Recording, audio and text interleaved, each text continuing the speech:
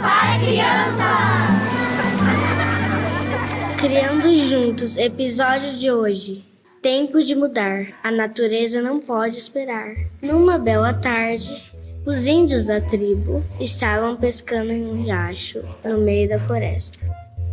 De repente, sentiram um cheiro de fumaça. Os índios saíram correndo para ver o que tinha acontecido. Encontraram vários homens colocando fogo nas árvores.